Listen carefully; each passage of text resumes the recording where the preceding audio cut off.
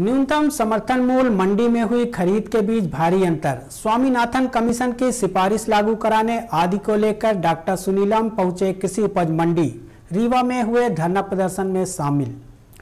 सरकार ने झूठ बोला था, रबी और खरीफ की फ़सलों के लिए न्यूनतम समर्थन देने की घोषणा की थी। लेकिन अखिल भारतीय किसान संघर्ष समिति ने वित्त मंत्री के झूठ का पर्दाफाश किया था। तब वित्त मंत्री ने कहा था, वो आंशिक लागत की बात कर रहे थे, न कि C two plus fifty percent की। किसान नेताओं का कहना है, चना और मसूर दोनों ही न्यूनतम समर्थन मूल्य से कम पर बिक रहे हैं।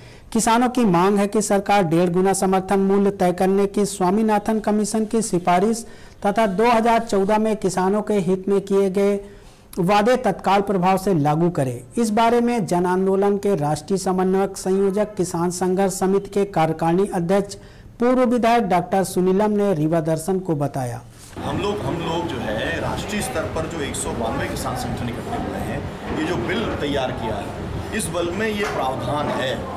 जो हमारे मुख्यमंत्री ने कहा था कि अगर एमएसपी के नीचे बिकेगा तो जो खरीदेगा, उसके ऊपर क्रिमिनल केस दर्ज किया जाएगा। हमारे बिल में ये प्रावधान है कि पहली बार अगर कोई एमएसपी के नीचे खरीदेगा, एक लाख रुपए का जुर्माना, दूसरी बार दो लाख का जुर्माना, तीसरी बार उसका लाइसेंस कैंसिल उसका किया जाएगा और उसके ऊपर आपराधिक मुकदमा चलाया जाएगा।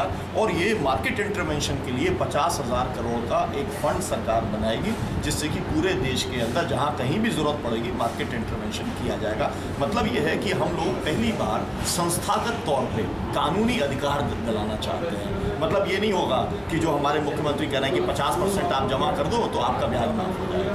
हमारा कहना ये है कि आपने क्योंकि समर्थन मूल्य हमको आज़ादी के बाद आज तक सही दिया नहीं है, इसलिए हम कर्जदार हैं।